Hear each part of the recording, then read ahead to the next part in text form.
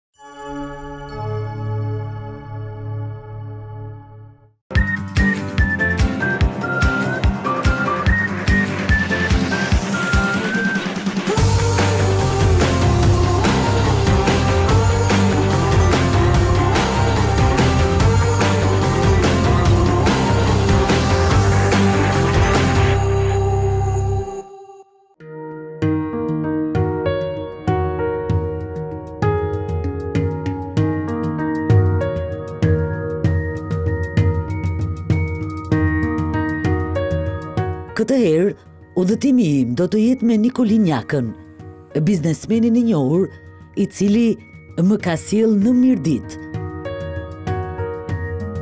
Me Nikolin Jakën, Mund të bënim një nga udhëtimet më të bukura nëpër Shqipëri, guidën e bizneseve, pasi ai i njeh të gjitha bizneset që janë ngritur nga veriu deri në jug, por na ka sjellë këtu, pranë malit të Zepës, pasi ky mal për të ka një domethënie ekskluzive.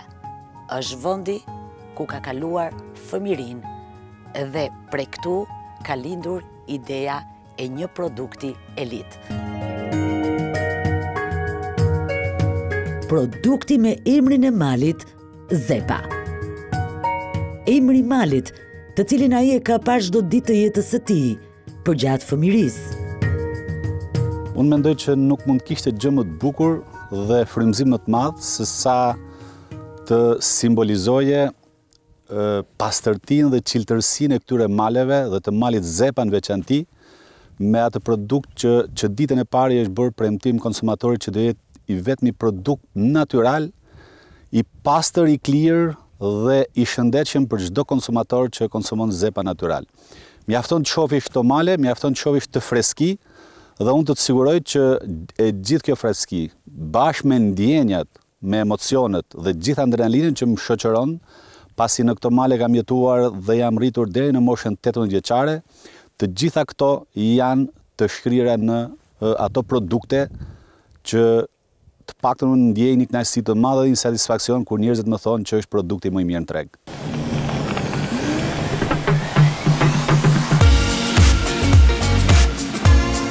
Tek ky mal, me emrin Zepa, të çon një rrugë e pashtruar.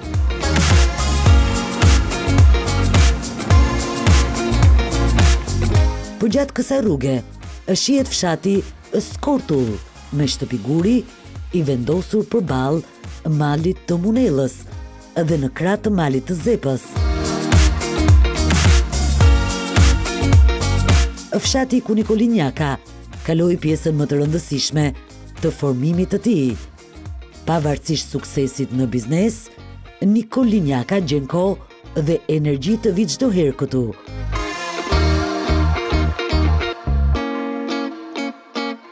Çfarë do thotë të jesh djalë i rritur mes dy maleve, kaq të larta? Është një luginë që të bën krenar, po. sepse ne kemi nxjerrë njerëz të mëdhenj, është Fishta i madh i cili ka lindur në atë luginë edhe që është fshati Domgjon.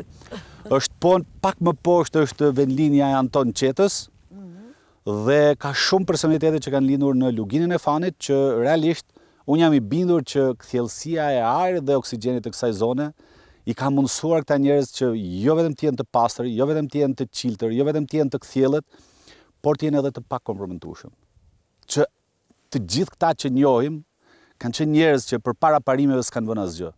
Dhe kjo është moto që duhet të kenë sot qytetarët shqiptarë, kjo është moto që ne duhet të kemi për të ecur përpara dhe për të bërë për të kaluar çdo lloj sfide e cila na ve përpara vështirësive.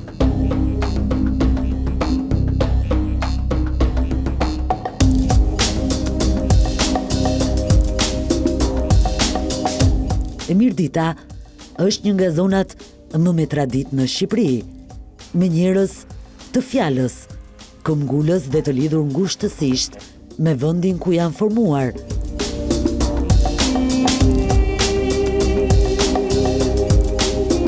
Nikolini, këtij vendi i mori pikërisht këmbënguljen dhe fuqinë për të mos u ndalur në ëndrrat dhe projektet e tij.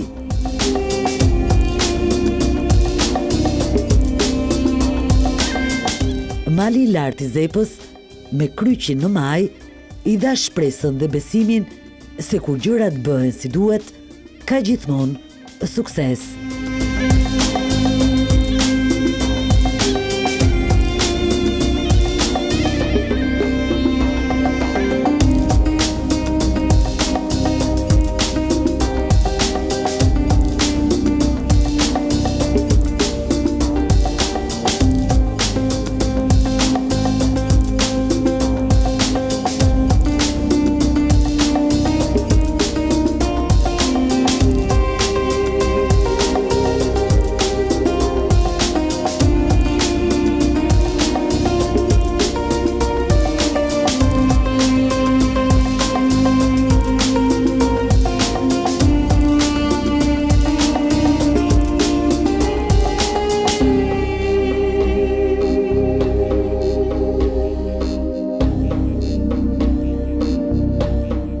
Nikolin, le të kthehemi pas në kohë kur ishe djalë i ri, e kishe menduar ndonjëherë që do vinte një ditë, që ti të sillje një produkt kaq cilësor me emrin e Zepës.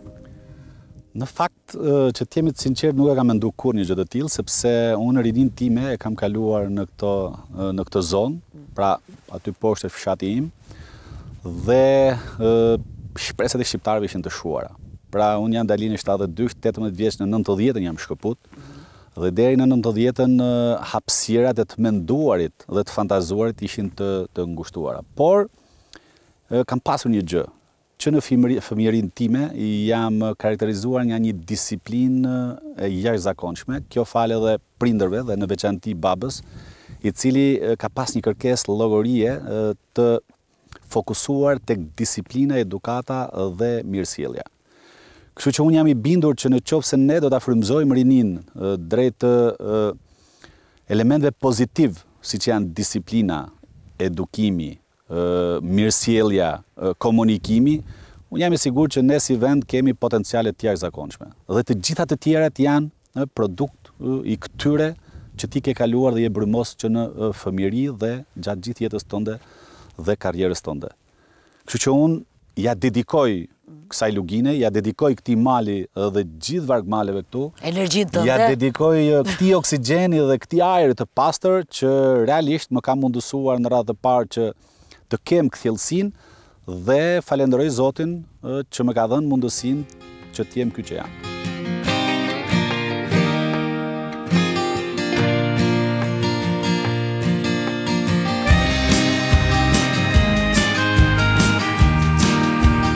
Rrëzë malit të Zepës, Nikolin Jaka shpesh sjell stafin e tij, që të kuptojnë fuqinë e këtij mali, të shijojnë bukurinë e këtij territori, Jo shumë të njohur për pjesën më të madhe të shqiptarëve.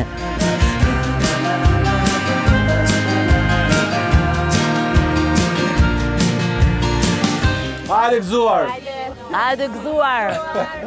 Zepa Natural është pikërisht një produkt i krijuar me aq dashuri dhe zemër, siç natyra ka dhuruar bukuri për këtë krahinë të Shqipërisë. Zakonisht jam mësuar nëpër tavolina ku piqet një qingj apo një kec, pregatitet një fli me zjarr, por në këtë rast jemi me Zepën. Të gjitha prodhime që ne i kemi shijuar nëpër fshatrat e Shqipërisë i kemi të sjella natyrisht të sigurta nga linja moderne që ka Zepa këtu mu në mes të malit. Eksperiencë e bukur. Kjo është hera e tretë që këto produkte po bekohen nga Mali i Zepës. Keni ardhë hera e tretë që Hera e tretë që ne këto produkte i sjellim këtu dhe jam i bindur që Mali i Zepës shtrin dorën, i bekon edhe ju jep rrugën e duhur. Cila është arsyeja Nikolin që ju i sillni vajzat stafin në përgjithësi këtu? Kjo është një pjesë e stafit, sepse një herë përpara kësaj radhe, kemi qenë pothuajse gjithë stafi, mhm. Në radhë të parë stafi është vetë i apasionuar pas hiking-ut dhe nuk është puna se vijnë vetëm në Malin e Zepës, stafi pothuajse i kanë parë të gjithë malet e Shqipërisë. Por stafi nga ndjenja e përgjegjësisë që kanë, përgjegjshmëria e tyre dhe dashuria për produktin e Zepës i ka bërë që të jenë më të fokusuar dhe ta frekuentojnë Zepën më shpesh. Kështu që unë në rastin konkret do doja t'i falënderoja me zemër, sepse është ky staf që e bën këtë produkt në këtë lloj cilësie dhe në këtë lloj standardi. Dhe në mënyrë të veçantë do doja të falënderoja edhe bashkëshorten, bashkëpunëtoren dhe administratoren e Zepës, e cila me një përkushtim maksimal kujdeset nga fillimi deri në fund të çdo lloj produkti dhe çdo lloj procesi pune që mundësojnë që ne të kemi këto produkte cilësore që i shijojmë me kënaqësi të madhe.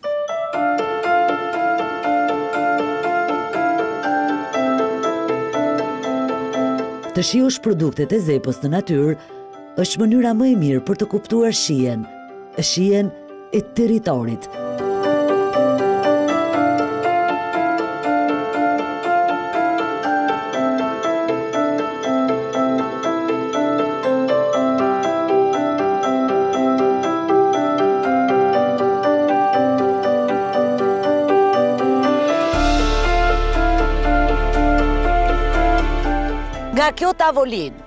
pranë malit të Zepës. Nga qyteti i Patosit do të shkojmë në kryeqendrën e botës, në Shtetet e Bashkuara të Amerikës, aty ku shkon edhe Zepa për të gjithë ata shqiptarë që u mungon shija e produkteve të tokës tonë.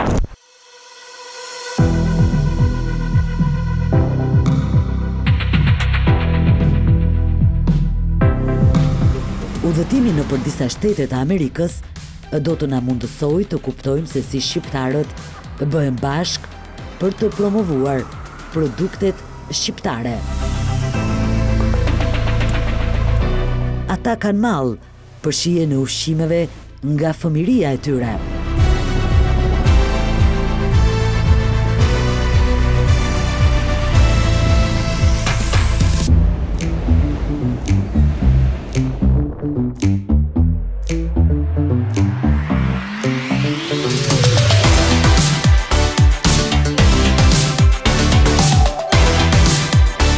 Jam në Filadelfia, në qytetin me pozicionin më strategjik, vetëm një orë 30 minuta nga New Yorku, më pak se 2 orë nga Washingtoni, qyteti i pari vënë në listën e trashëgimisë në Shtetet e Bashkuara të Amerikës.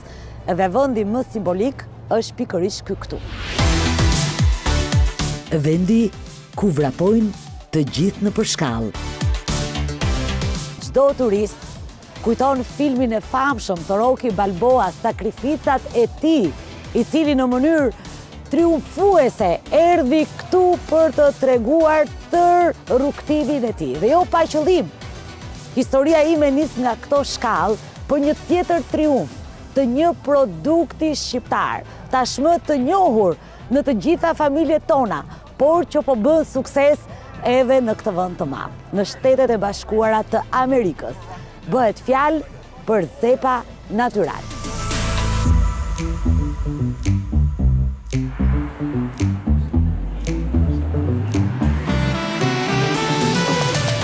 Zepa Natyral E gjejmë në disa shtete, por ne do të vizitojmë tre prej tyre, supermarketet në Filadelfia, Connecticut dhe një restorant të dashur për shqiptarët në Manhattan.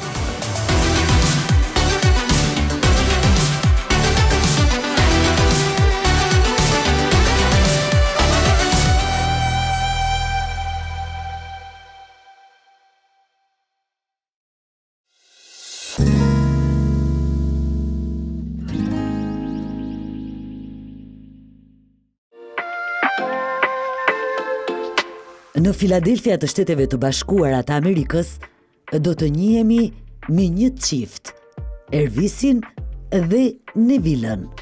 Të dy nga Tirana. Ata erdhën në Amerikë në 2003-shin. Si fillim, krijuan një agjensi udhëtimi. Paralelisht, nisën të sillnin dhe produkte shqiptare. Punime artizanale, si dhe një shportë ushqimesh tipike të zonave të ndryshme të Shqipërisë. Kryesisht punojmë me kompanitë më prestigjioze që janë në Shqipëri, sepse duam me gjithë mend që të sjellim jo vetëm traditën, po duam të sjellim produktin Made in Albania dhe për konsumatorët e huaj që jetojnë në Amerikë. Sepse Amerika është vendi që ka dyqind kombësi, kështu që pse mos ta hajë atë djathin e dhisë Zepa Natyral një rus, kur kanë qejf të provojnë një diçka të re. Duke qenë pranë komunitetit, ti kupton çfarë kërkesash kanë, çfarë dëshirash kanë dhe mundohesh të vish sa më pranë komunitetit për t'i ofruar gjithçka. Domethënë, një nga shkaqet ishte travel, udhëtimet, mbush sa më gjerë atë background-in për travel.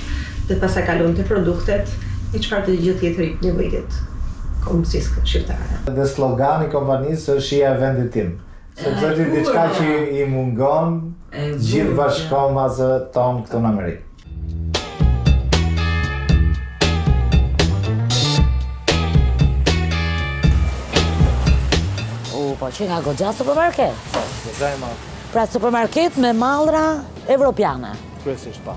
Edhe pse Shqipëria nuk është pjesë e Bashkimit Evropian, ama produkti i Zepës është krahas të gjitha produkteve që vijnë nga vendet e Evropës dhe po konkuron shumë mirë edhe produktet e Greqisë, fetën greka, të famshme, por që Zepa ia ka kaluar.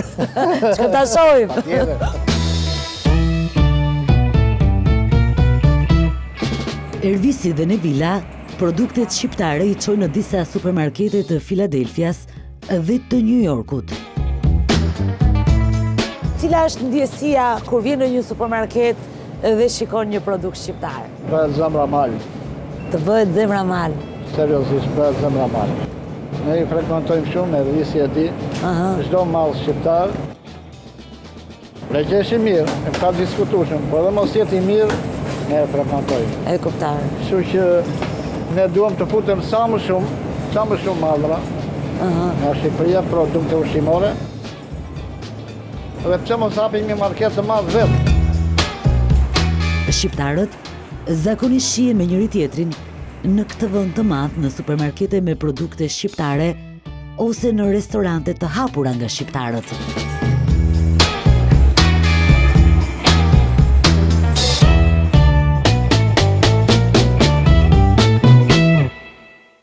Është shumë bukur kur shikon një produkt shqiptar në një supermarket të tillë në Filadelfia, në një nga gjashtë qytetet më të mëdhaja të Shteteve të Bashkuara të Amerikës, por jo vetëm në Filadelfia. Nga këtu, ne do ikim në Manhattan.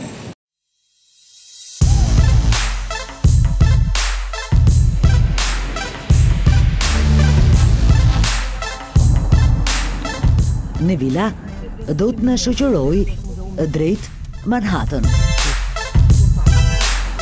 Nga Filadelfia,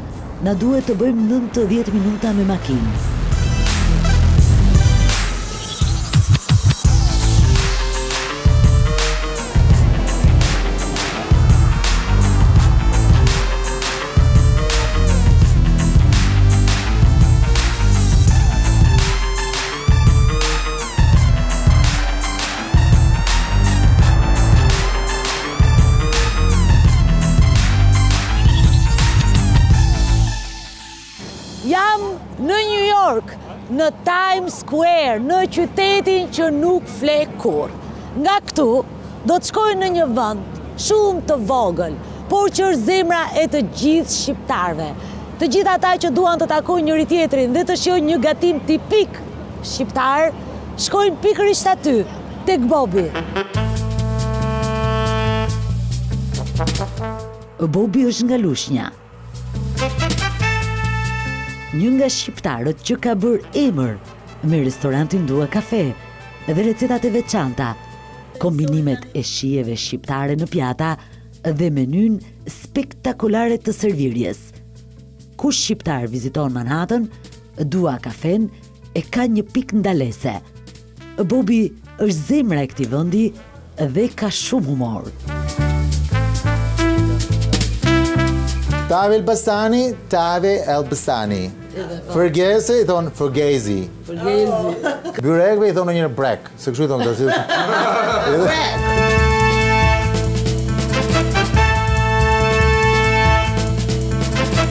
Kur ndjek një produkt të Shqipërisë nëpër botë, të jepet mundësia që të takosh edhe shumë shqiptarë, sidomos ata shqiptarë që kanë bërë sukses.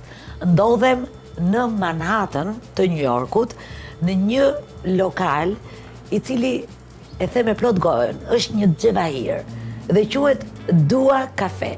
Ambient shumë i vogël, por që këtu kemi mundësi të njihemi edhe me disa gatime të veçanta, ku pjesë natyrisht është edhe produkti i Zepës. Se është Zepa, që na bëri të mundur zbulimin e këtij vendi në këtë qytet kaq të madh.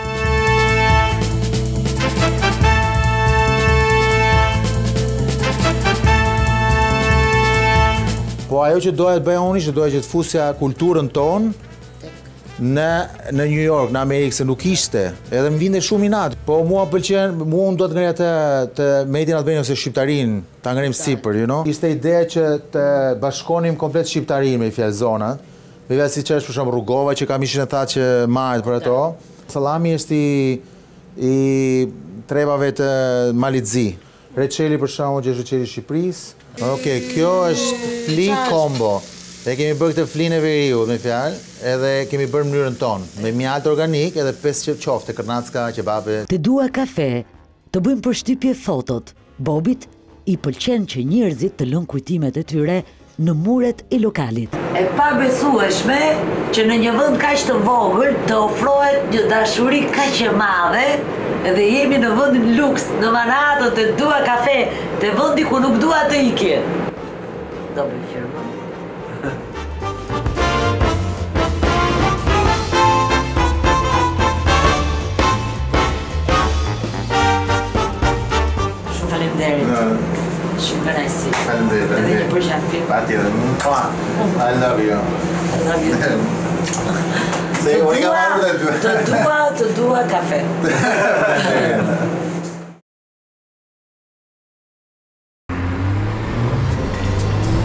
Largohemi me energjinë e mirë që na dha Bobi drejt Connecticut për të takuar dy shqiptarë të tjerë, të cilët kanë hapur një supermarket me produkte evropiane, ku natyrisht këtu ndodhen edhe prodhimet e Zepës.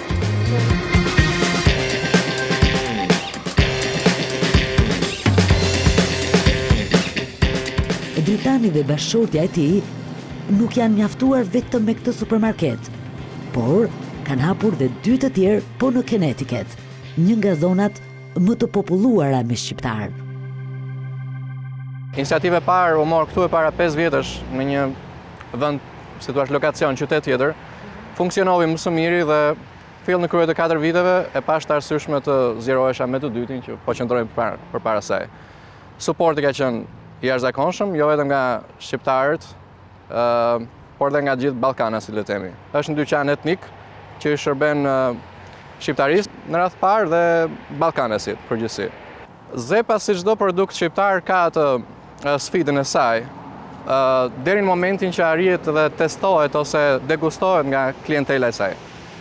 E vënë re menjëherë dallimin e këtij lloj djathi për fortësinë që ka ai në vetvete, qumështi të pastër të dhisë që përdorin dhe ç'është më kryesorja që ka shumë pak kripë në prodhimin e vet. Dhe mungesa ose si t'thuash pjesa e kripës është domethënëse për shëndetin e njeriut. Shijen e kam mbajtur, tradicionalisht siç është, dhe e pëlqejnë. Kuptohet, është në mes të një varieteti të jashtëzakonshëm fetash, por jo vetëm dhe marka të tjera djathra që vijnë nga Shqipëria. Megjithatë, ka vendin e vet, pëlqehet shumë, ai që e provon, kthehet sërisht. Unë do të thoja që edhe një pjesë e shqiptarëve e njohin që kur kanë qenë në Shqipëri, kështu që nxjerr mallin edhe vazhdojnë e marrin djathin Zepa Natyral.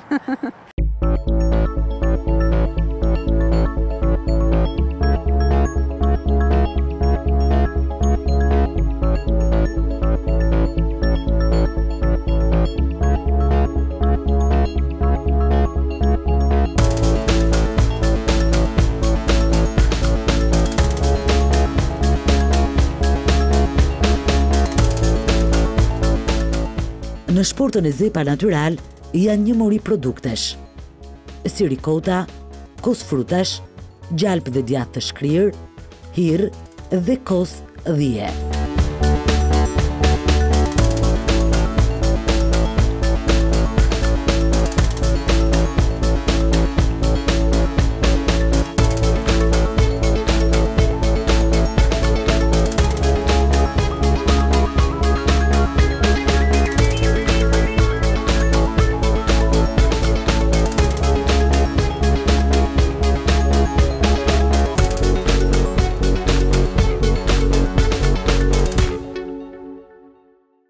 Deri më sot konsumatori, i cili është lidhur ngushtësisht me Zepën, jo vetëm brenda vendit, por edhe jashtë Shqipërisë, nuk e ka ditur origjinën e emrit të Zepës.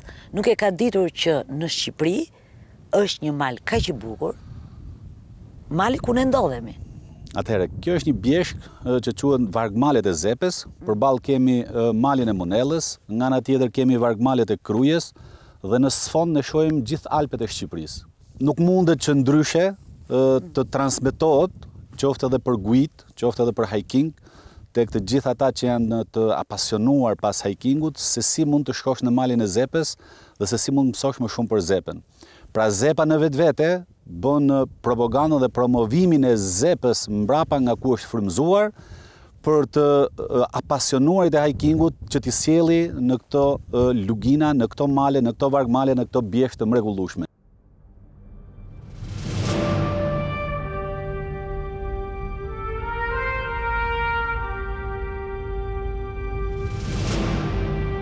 Frymëzimi ndodhet në Sukth, te kjo fabrikë e standardeve evropiane, e ngritur më 2017-ën, një fabrikë që energjinë e prodhon nga panelet diellore, ku ndotja është zero.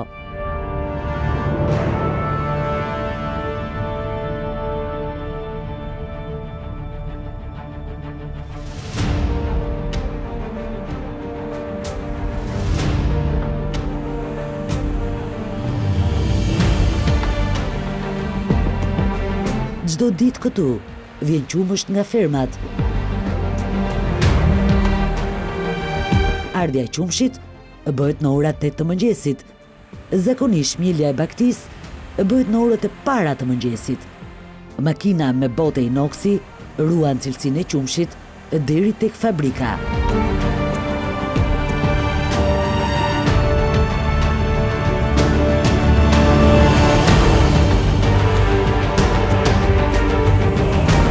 Janë disa salla me linja të ndryshme. Çdo gjë është material inoksi, Teknologji e fundit. Gjithçka komandohet automatikisht me një sistem të përsosur sterilizimi.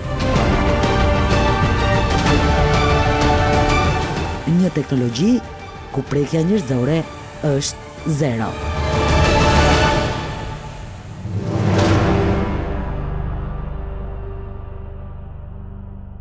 Si të lindi ideja për t'ia vënë emrin Zepa? Kishe ndonjë emër tjetër në mendje apo me të parën godite? The Zepa. Që të jem i sinqertë, aktivitetin tim privat e kam filluar që në vitet nëntëdhjetë e nëntë, që nga momenti që u shkëputa nga administrata publike. Në nëntëdhjetë e nëntën dhe në vitet dy mijë, dy mijë e një kam pasur mundësinë që të kem kompaninë e parë në sektorin e ndërtimit, Dhe gjithmonë kam qenë i apasionuar pas origjinës dhe malit Zepa. Mali Zepa është një ndër malet që të uh, hipnotizon. Pra ka një krenari të jashtëzakonshme, ka një pamje madhështore, dhe mjafton ta shohësh dhe të siguroj që të duket vetja sikur vetë Perëndia po të mbron nëpërmjet këtij mali. Dhe kjo është kjo është edhe arsyeja që unë mendoja gjithmonë Malin Zepa, e mendoja gjithmonë Zepën për ta përdorur si emër, por Sektori i ndërtimit ishte një gjë që ecën, kalon, mbaron një pallat, fillon tjetrin, administrimi është i banorëve dhe ngelet. Ndërkohë që në momentin që lindi ideja për të bërë për t'u përfshirë në një investim në qumësht dhe, bul, dhe në produktet e qumështit, ideja ime e parë ka qenë Zepa. Zepa. Ideja ime e parë ka qenë Zepa dhe Aty jam fokusuar që ky produkt jo vetëm që do jetë një brend që do thyjë tashmë nocionin e pabesisë që kishte konsumatori shqiptar tek produktet shqiptare, por do simbolizojë dhe do jetë në një sinkron të plotë me atë çiltërsi, me atë kthjellësi dhe me atë pastërti që transmeton Mali i Zepës.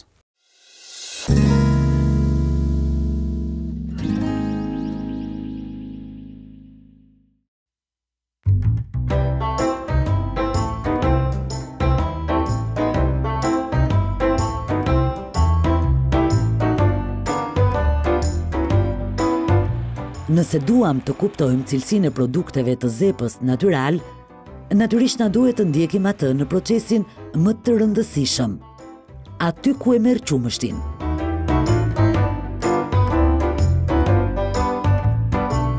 janë disa ferma, kryesisht në veri të Shqipërisë, por ne zgjodhëm të vijmë në njërën prej tyre, pranë Vaut të Dejës, në pronësi të dy vëllezërve Gjon Ndrekaj.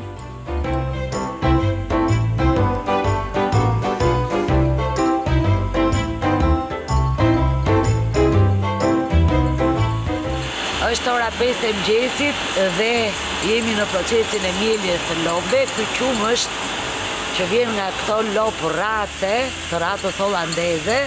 Shkon natyrisht te Zepa, po ne jemi të parët që po e provojmë përpara se të shkojë te Zepa. Gëzuar.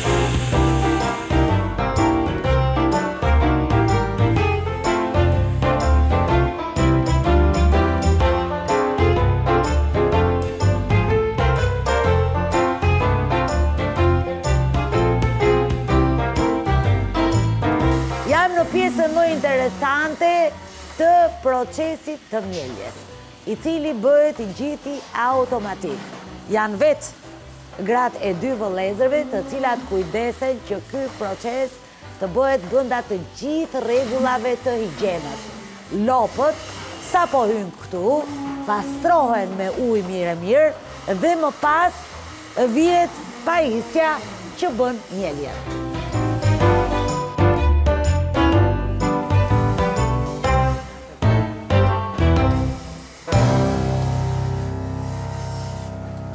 Shikojeni me kujdes njërën nga lopët, e cila ka shumë qumësht dhe mezi po pret momentin që t'i vihet pajisja që do t'i bëjë mjeljen. Duhet të theksojmë se kjo është një racë e shkëlqyer që jep një sasi shumë të madhe qumështi.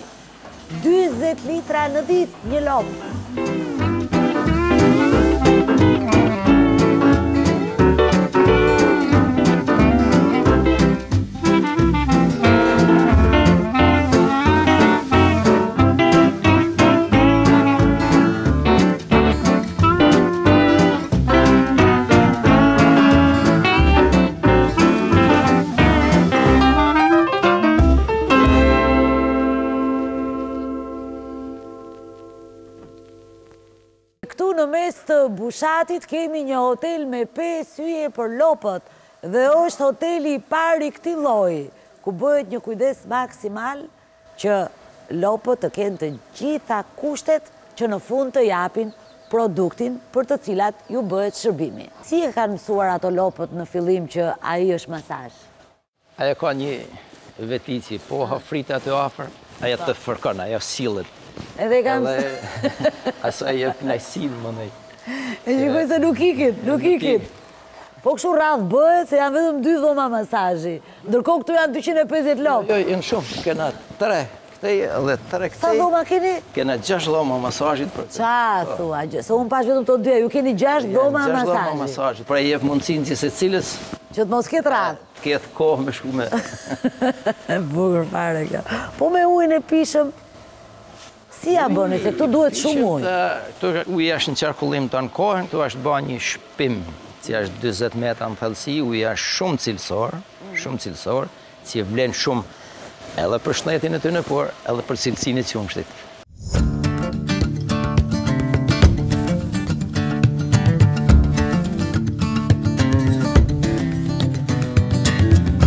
Kjo fermë i përket Mondit dhe Alfredit. E kanë ngritur në fshatin Konaj.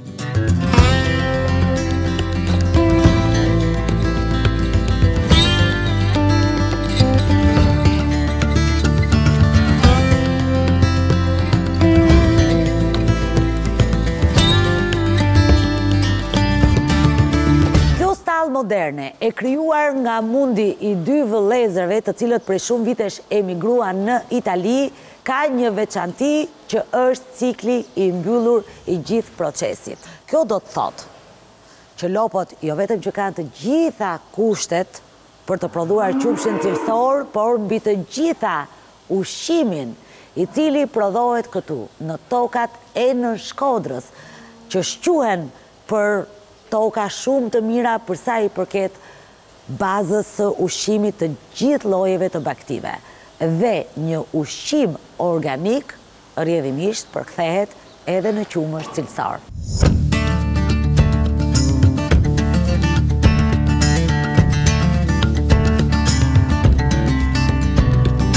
Të dy vëllezërit kanë të gjitha makineritë e duhura për përpunimin dhe shpërndarjen e ushqimit. Lopët konsumojnë shumë ushqim, Dhe këto makineri janë të domosdoshme kur bëhet fjalë për një fermë kaq të madhe.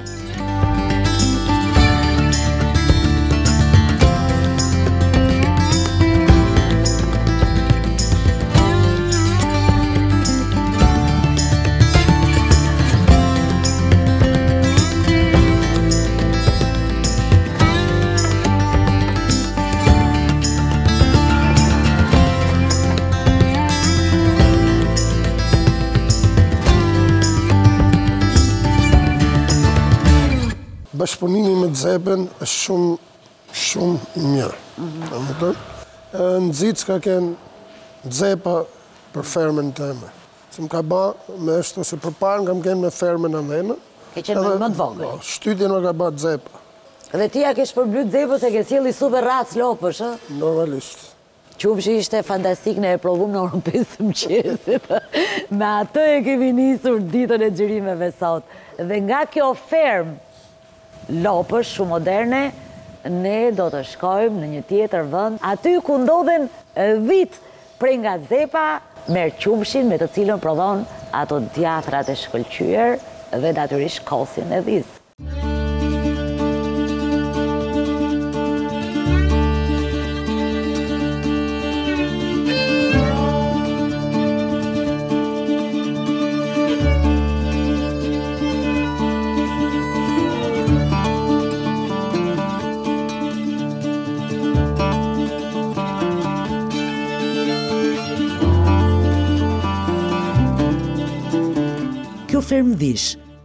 Ndodhet në Ndroq të Tiranës.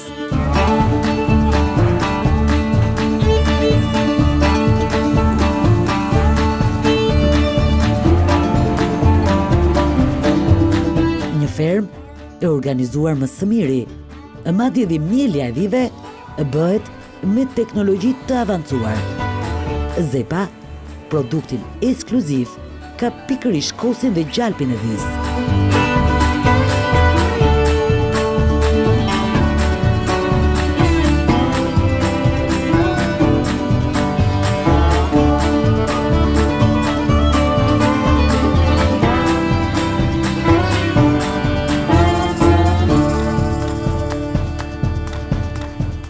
Mund të bënit edhe një biznes tjetër pas ndërtimeve, po pse vendosët që të sillni në tavolinën shqiptare nënproduktet e qumështit? Në një farë mënyre, unë e pashë dhe vazhdoj ta shoh çdo ditë që konsumatori shqiptar është tronditur shumë nga mosbesimi për produktet shqiptare. Ky është një gabim i madh dhe realisht po qe se unë do i bëj një ftesë të drejtpërdrejtë konsumatorit, është një ftesë e sinqertë që Duhet të besojnë më shumë te konsumatori shqiptar, te produktet shqiptare. Duhet të besojnë më shumë sepse realisht ka prodhues në Shqipëri që përtej çdo lloj sfide dhe vështërsie, përtej çdo lloj pengese që has në punën e përditshme, në finale mundohen me shpirt të sjellin në tryezat e shqiptarëve produkte cilësore. dhe ju jeni vetë emri i produkteve Made in Albania, ju jeni vetë historia e produkteve shqiptare dhe unë jam i sigurt që megjithëse jam kryetar i Dhomës së Tregtisë dhe detyra ime kryesore është të mbështes, të loboj për të drejtat e sipërmarrjes shqiptare, të lobojmë dhe të mbrojmë interesat e tyre, por unë jam i bindur që ju jeni më detajiste dhe më me informacion se çfarë investimesh kanë bërë prodhuesit shqiptarë. se sa të fokusuar janë dhe se sa e dashurojnë produktin e tyre. Dhe është e pamundur në qoftë se gjen një sipërmarrës i cili prodhon produkte që i ka në frigoriferin e tij, i ka në tavolinën e tij, është e pamundur që ai të prodhojë produkte të cilat vrasin konsumatorin nëse ai i konsumon vetë. Pra nëse do të shofësh një produkt Shko tek frigoriferi i shpisë së pronarit dhe nëse frigoriferin e ka të mbushur me produktet e veta dhe e konsumon çdo ditë, siguria kjo është. Unë nuk mendoj që mund të du konsumatorin më shumë se fëmijët e mi. Por në qoftë se fëmijët e mi janë të frymëzuar dhe të fokusuar në konsumimin e produkteve të Zepës gjithë ditën, unë jam i qetë, në radhë të parë para ligjit dhe në radhë të dytë para Zotit që është edhe krijuesi i gjithëve. E bukur kjo, se kemi dhe kryqin aty lart. Është edhe kryqi që simbolizon pjesën e krenarisë mirditore dhe ndërkohë pjesën e asaj që ne i kemi thënë për një histori 500 vjeçare, pavarësia e plotë e identitetit e origjinës dhe ruajtja e një profili të Mirditës që e ka bërë Mirditën kjo që është dhe unë e them shpesh në takimet e ndryshme që pa Mirditë s'do kishte Shqipëri dhe kjo është e vërtetë.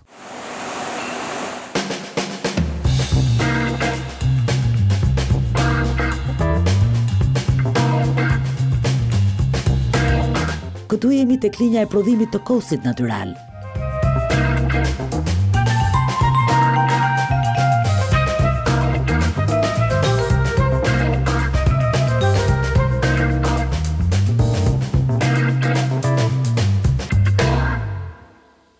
duhet të ndjeket një procedurë strikte për sa i përket gjithë kontrollit të gjurmëshmërisë së produktit nga lënda e parë deri në produktin final dhe zbaton të gjitha rregullat e higjienës. Ne këtu realizojmë mbi njëzet e pesë analiza për lëndën e parë qumësht, por dhe për produktin e gatshëm. Këtu janë gjitha pajisjet laboratorike për detektimin e lëndës parë qumësht. Realizohen prova e cilësisë, e cila konstaton në disa analiza, që janë freskia, aciditeti, prania e falsifikatorëve në qumësht, pas kësaj janë pjesa e mbetjeve reziduale në qumësht. e cila konstaton në mbetjet e antibiotikëve dhe aflatoksinës në qumësht.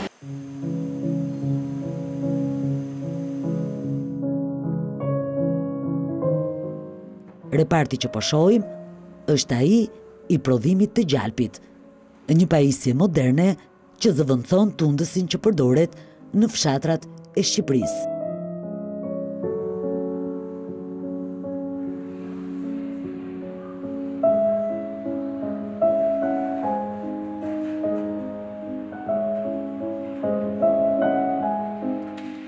Djathi i Zepës gjithashtu pregatitet sipas traditës, si në baxho. Por natyrisht siguria dhe pastërtia këtu është prioritet kryesor. Çdo punëtor në këtë fabrikë kalon një proces të rreptë dezinfektimi që nga veshja e dorezave, këpucëve dhe maskave të cilat janë të detyrueshme.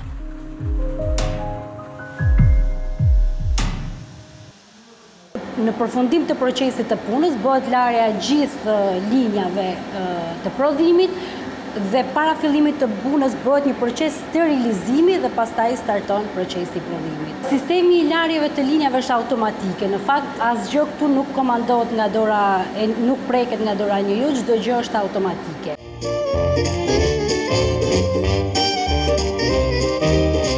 Prodhimi i kosit të dhisë dhe gjalpit Natyrisht që është një proces që ndodh në periudhën e pranverës. Kosi i dhisë është produkt i cili mund edhe të mos gjendet në supermarkete, pasi kërkesa është shumë e lartë. Dhe ndërkohë ky qumësht është sezonal.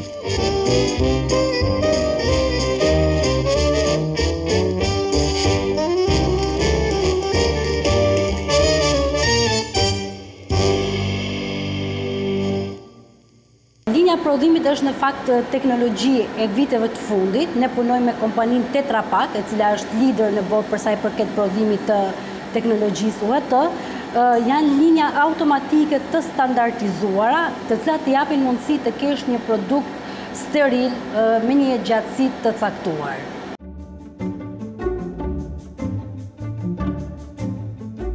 Katër lloje shijesh frutash në kos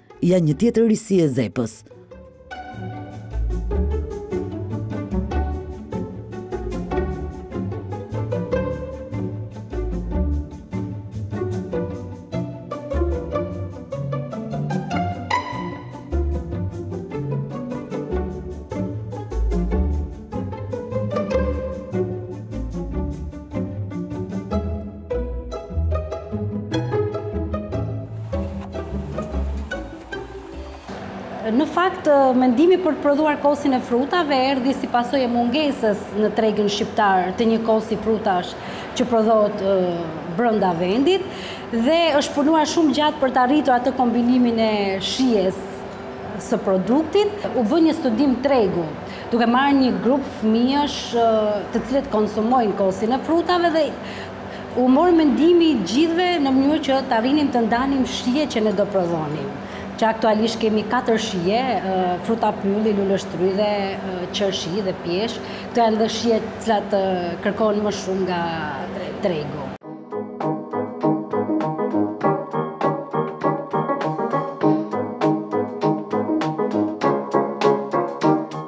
Produktet e Zepës konkurrojnë denjësisht prodhimet e vendeve evropiane në cilësi dhe siguri.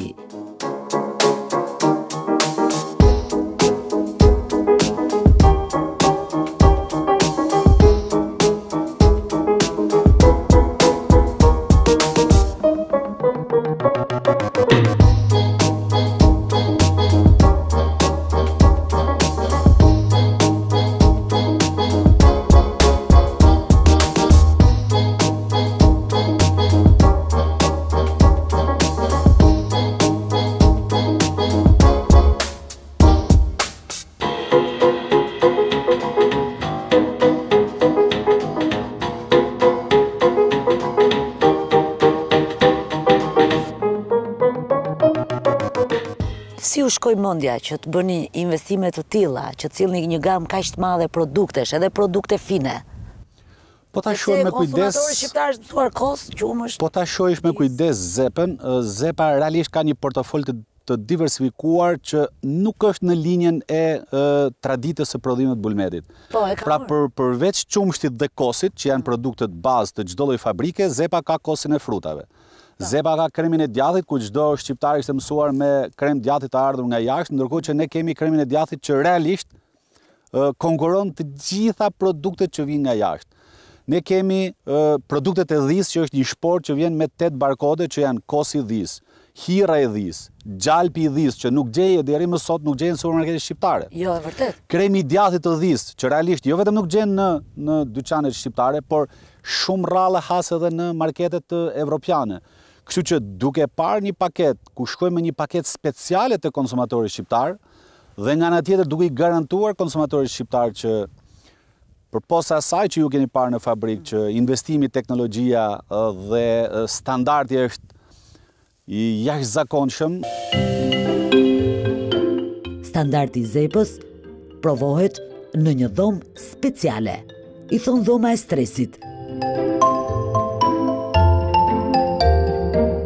Në 25 gradë Celsius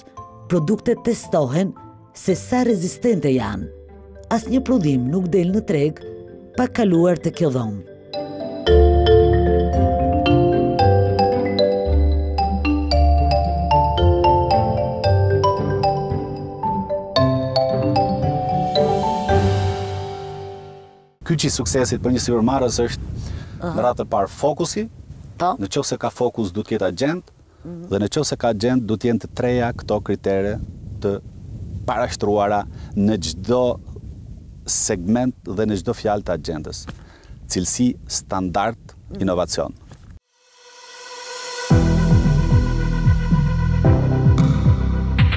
Rrugëtimi me Zepën dëshmon se kompanitë shqiptare po investojnë me zemër dhe përgjegjësi në produktet jetike dhe delikate. Investime që kapin shifra të larta me qëllim që t'i garantojnë konsumatorit të njëjtën cilësi si ato të markave evropiane. E për më tepër, këto produkte po çajnë edhe tregje të mëdha si ai i Amerikës.